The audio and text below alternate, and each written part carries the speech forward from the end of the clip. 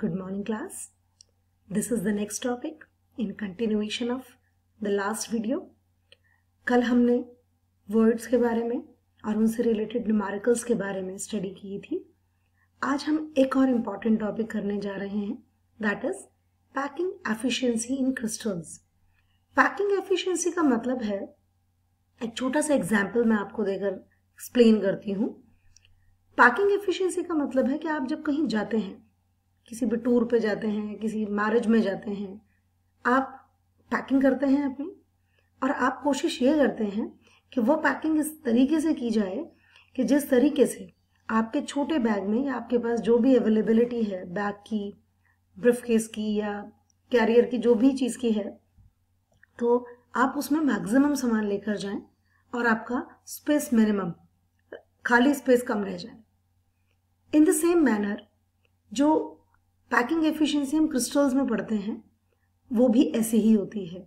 They try to be more close वो बहुत close आने की कोशिश करते हैं टाइटली पैक होने की कोशिश करते हैं, क्योंकि we have studied this point in our previous classes and as well as in the solids characteristics कि दे आर टाइटली पैक्ड वो टाइटली पैक्ड होते हैं।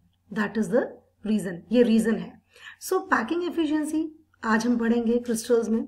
हमने तीन तरह के बेसिकली यूनिट सेल्स पढ़े हैं।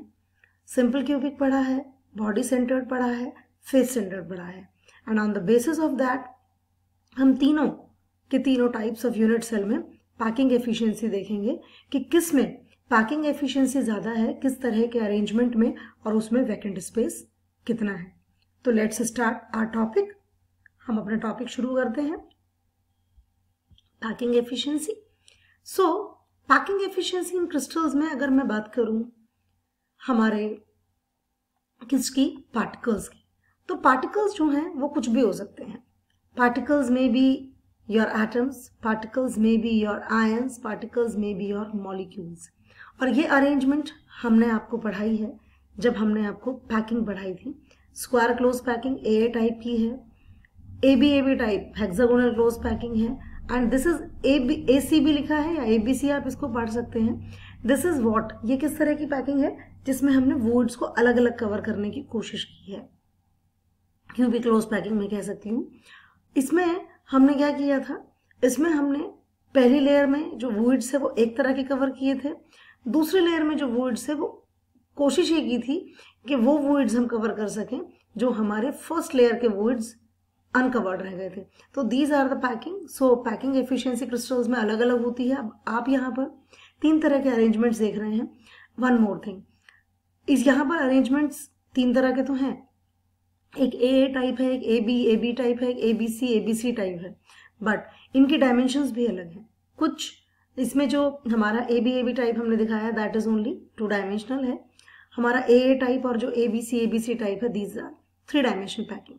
तो पैकिंग एफिशिएंसी जो क्रिस्टल्स की होती है, वो अलग अलग होती है। उनके अरेंजमेंट पर कंस्टिट्यूएंट पार्टिकल्स के अरेंजमेंट पर बेसिकली हम पैकिंग एफिशिएंसी को कैलकुलेट करते हैं। कैलकुलेट होती है वो। तो अभी हम आपको तरीका बताएँगे how we calculated so this this is the basic of the packing packing का ये बेसिक है।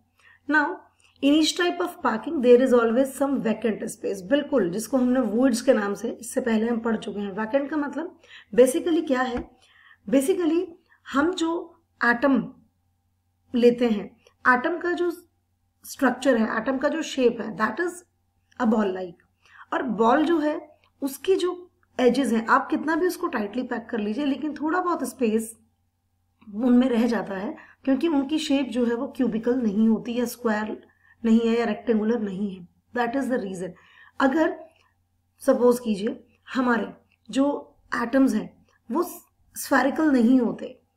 वो स्फेरिकल नहीं होते नेचर में तो हमारा जो पैकिंग एफिशिएंसी है, वो दूसरी तरीके से हम कैलकुलेट करते हैं. बट एज वी नो जब हम कितना भी क्लोज पैकिंग कर लें एटम्स का they are spherical in shape and that is why हम उनको बिल्कुल ज़ीरो स्पेस नहीं कर सकते वैकेंट उनका। तो और वो जो वैकेंट स्पेस हमने पढ़ा था that is in the form of voids और वुड्स भी हमने दो तरह के पढ़े थे। रिमेंबर कीजिए वन इज़ टेट्राहेड्रल वुड और दूसरा हमने पढ़ा था ऑक्टाहेड्रल वुड मैंने उस समय भी बताया था आपको टेट्राहेड्रल वुड इज़ फॉर्म्ड कल भी जबकि हमने डिस्कशन किया है कि the coordination number in tetrahedral void is four and you can see यहाँ पर फोर एक, दो एक पीछे दिख रहा है तीन और एक ये चार। These are the four atoms जिनसे हमारा टेट्राहेड्रल वुड बना है। This is tetrahedral void now it is octahedral void octahedral void में कल भी हमने पढ़ा था the coordination number is six और मैंने आपको बहुत सिंपल सी बात बताई थी, दो अपोजिट ट्राइंगल्स रख दीजिए। जैसे कि आप यहाँ देख सकते हैं। एक ट्राइंगल ये जिसका कि वर्टेक्स ऊपर है, एक ट्राइंगल ये जिसका कि वर्टेक्स नीचे है। एंड सिक्स हमारी जो एटम्स हैं जिस वजह से हमारा ये ऑक्टाहेड्रल वुड आता है। तो there are two types of voids जो हमारे बनकर आएँगे। इन्हें हमें कवर कर इन्हें हमें देखना है कि इनके बनने के बाद कितना स्पेस पैक हो गया है और इनमें कितना स्पेस एम्प्टी रह गया है। सो so, दो तरह के हैं। आप इसकी कंस्ट्रक्शन भी देख सकते हैं इवन ऑक्टोहेड्रल वुड की दो ट्राइंगल्स ऊपर नीचे। You can see you can easily compare it दो ट्राइंगल्स हैं। एक ट्राइंगल जो है हमारा, वो ये रहा वन फ़र्स्ट ट्राइंगल और उसी के बेसिस पर हमने उल्टा ट्राइंगल रखा है, जो कि हमारे इस छोटे से एरिया में भी नज़र आ रहा है। इसका वर्टेक्स ऊपर है और इसका वर्टेक्स नीचे है and this is the formation of octahedral void so what is packing efficiency packing efficiency क्या है? The percentage of the total space filled by the particles कि पार्टिकल्स ने कितने स्पेस को, खाली स्पेस को पैक कर दिया है फिल कर दिया है that is known as packing efficiency उसको हम क्या कहते हैं? पैकिंग एफिशिएंसी कहते हैं। तो इस वाले वीडियो में अब हम डिफरेंट तरह के डिफरेंट यूनिट सेल्स के टाइप्स की पैकिंग एफिशिएंसी को पढ़ेंगे कि पैकिंग एफिशिएंसी सिंपल क्यूबिक में कैसी होगी। Now see packing efficiency in simple cubic lattice simple cubic lattice हमें पता है कि हमारा उसमें सिंपल एटम्स होते हैं जो कि हमारे एट एटम्स होते हैं जो कि बेसिकली कॉर्नर्स पे होते हैं।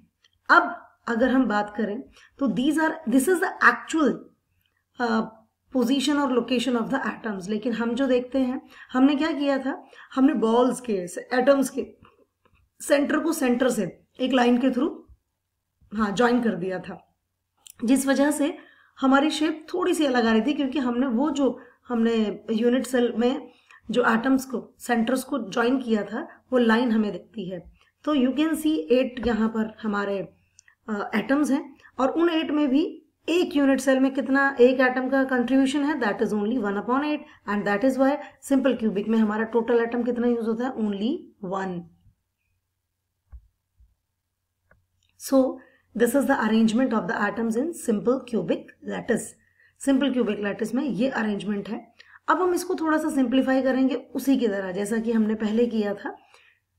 You can see the number of atom per unit cell in the simple cubic is one only now each atom हमने कंसिडर किया स्फीयर की तरह और हम फिर वही परफोरेटेड लाइंस के थ्रू हमने उनके सेंटर्स को ज्वाइन किया है।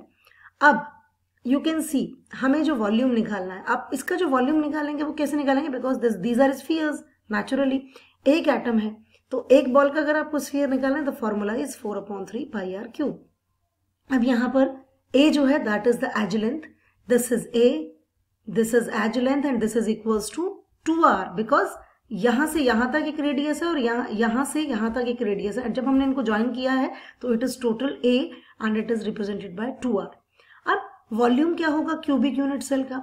हमें पता है क्यूब है। क्यूब का वॉल्यूम क्या होता है? Side into side into side that is a cube that is a यहाँ पर किसके बराबर है? टू आर के बराबर। That is two R cube and it is eight R cube now हमें निकालना है पैकिंग एफिशिएंसी हम किसी भी चीज़ की जब एफिशिएंसी निकालते हैं तो we have to take a ratio हमें रेशो लेना पड़ता है। हम रेशो लेते हैं। किसका? कितना स्पेस पैक हुआ है तो वॉल्यूम लेंगे एक एटम का, क्योंकि सिंपल क्यूबिक में हमारा पूरा एक एटम यूज़ हो रहा है तो we will take only volume of one atom. अब वॉल्यूम ऑफ़ वन एटम का फॉर्मूला हमने ऊपर लिखा है four upon three pi R cube और नीचे हम दे रहे हैं volume of cubic unit cell मतलब टोटल जो क्यूब क्यूब है, उसका वॉल्यूम क्या होगा? That is naturally a cube अब यहाँ पर हम दोनों की वैल्यूज़ को पुट करेंगे एंड मल्टीप्लाई करेंगे इसको हंड्रेड से। दोनों की वैल्यूज़ पुट करेंगे एंड यू विल सी देखिए। नाउ पैकिंग एफिशिएंसी का फॉर्मूला आपके पास आ गया है, क्योंकि एफिशिएंसी है तो परसेंट में निकाली। हमने वॉल्यूम रखा है। किसका? एक एटम का। ठीक है, और यहाँ पर क्यूब का वॉल्यूम रखा है। नाउ आर क्यूब से आर क्यूब कैंसिल होगा। फोर से एट टू आएगा and the answer is pi upon six into hundred when you will put the value of pi, and you know the value of pi, that is 22 upon 7 pi की value होती है। हम जब उसको रखते हैं and we will calculate तो हमारा आंसर आता है 52.36 percent and we can write it as 52.4 percent so packing efficiency तो 52.4 है और वैकेंट स्पेस कितना है? सब्ट्रैक्ट कर दीजिए 100 में से you will get your answer that is 47.6 तो this is the packing efficiency in simple cubic lattice simple cubic lattice की ये अरेंजमेंट्स होती हैं. Now we will go to the next part of the video that is the packing efficiency in body center हाँ H C P या C सी ले लीजिए, इस तरीके से कर सकते हैं हम। एच सी पी या सी सी में भी कह सकते हैं। तो दिस इज़ फेस सेंटर्ड इन्होंने पहले लिया है। तो this is face centred now face centred में हर एक फेस पर एक एटम है और यहाँ पर यू कैन सी एटम्स में थोड़ा सा डिस्टेंस आ गया है। अब दोनों एटम्स एक दूसरे के साथ प्रॉपरली क्या नहीं है? टच्ड नहीं है। And that is why we have to calculate this this is the arrangement and this is your face centred का आ गया एससीपी में, या सीसीपी कुछ भी। SCP means hexagonal close packing ले लीजिए and CCP means cubic close packing so this is basically face centred हम ले रहे हैं। फेस सेंटर्ड का हमारा ये है, जो यूनिट सेल है। तो यहाँ पर हमें ये ए सी को कैलकुलेट करना है तो what is a C R again two R and then R and it becomes four R it is B and what is a we have to calculate हमें ए को भी कैलकुलेट करना है कि हमारा ए बी जो होगा, ये क्या होगा। तो पाइथागोरस लगानी ही पड़ेगी। आपको दिख रहा है ट्राइंगुलर कि this is square a square a square और ये बी स्क्वायर हमने लिख दिया है। ना वो ए स्क्वायर की वैल्यू हम यहाँ से ए की वैल्यू कैलकुलेट करेंगे। We know that what is b b is four R put it here value रखिए। And you got the value of under root two a and it is equals to four R बिल्कुल ठीक। Now put the value of b तो a की value कितनी आ गई four upon four R upon under root two आप इसको और भी सिंप्लीफाई कर सकते हैं. It becomes two under root two R this is now हमारा रिलेशनशिप आ गया ए के बीच में और आर के बीच में.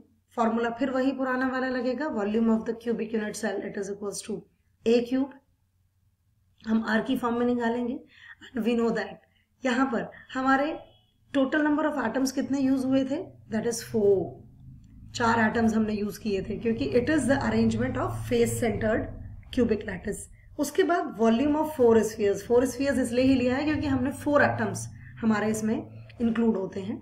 तो वॉल्यूम ऑफ़ फोर स्फीयर्स कितना होगा? वो आ गया आपके पास four upon three pi R cube so अब हम फिर से पैकिंग एफिशिएंसी सिंपली निकालने की कोशिश करेंगे। हमें पता है कैसे निकालनी है पैकिंग एफिशिएंसी पैकिंग एफिशिएंसी का फॉर्मूला क्या था हमारा? दोबारा से याद कीजिए कि वॉल्यूम जो ऑक्यूपाई होगा मतलब टोटल वॉल्यूम में से जो एटम नंबर ऑफ़ एटम्स है, वो कितना वॉल्यूम ले रहे हैं? तो वॉल्यूम जो है, यहाँ पर चार एटम्स हैं तो चार एटम्स का वॉल्यूम ऊपर आएगा। टोटल वॉल्यूम हमें पता है क्या है? ए क्यूब बिकॉज़ फिर से हमारा वो क्यूबिकल स्ट्रक्चर ही है तो वो हमने वैल्यूज़ पुट कर दी हैं।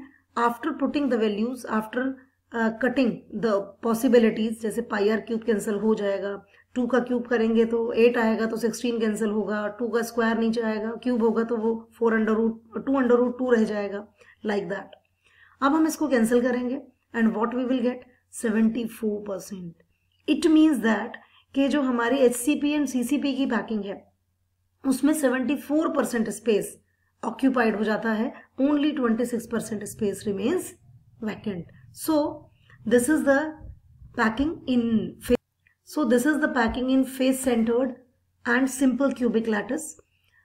In my next video, I will discuss about the efficiency of packing in body centered cubic structures. This is for today. Thank you and have a good day.